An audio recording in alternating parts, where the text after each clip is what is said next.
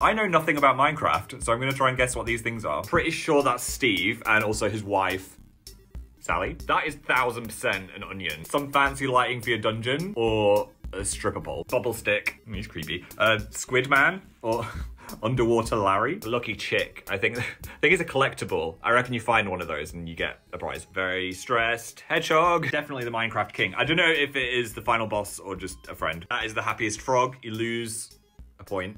You get points? I don't think you get points if you kill it. Looks like he's been there a while. Moss Man. That is just me with my shirt off. Definitely rare item. I'm going with Dragon Eye. Definitely a Hog Knight. It's one, one of the hardest enemies. Lava Block. Oh, that is an anxiety bush.